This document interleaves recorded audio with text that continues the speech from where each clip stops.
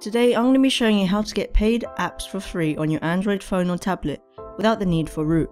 Let's get started. Okay, first you want to go to settings and then security and make sure that the unknown sources box is ticked. This allows you to install apps without needing the Play Store, so just tick that and then confirm it. Now you can open up any browser on your phone, I'll be using Google Chrome, and go to either appdroid.com or appdroid.com. Both links are in the description. Either one will work, but I find that Aptoide has a more complete set of apps. Okay, so once the website has loaded, click the download link and download the app. Once it has finished downloading, start the installation process by clicking on the file.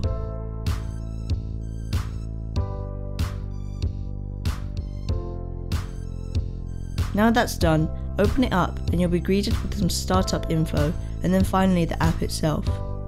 From here you can see a bunch of paid and free apps which you can download. To search for a specific app, type into the bar at the top. I'll just search for Super Hexagon. Okay, so click on that and then press install. The installer window should pop up and then you're good to go. Keep in mind this is for educational purposes only and I do not support piracy. Use this with caution and always try to support the application developers by purchasing the app afterwards.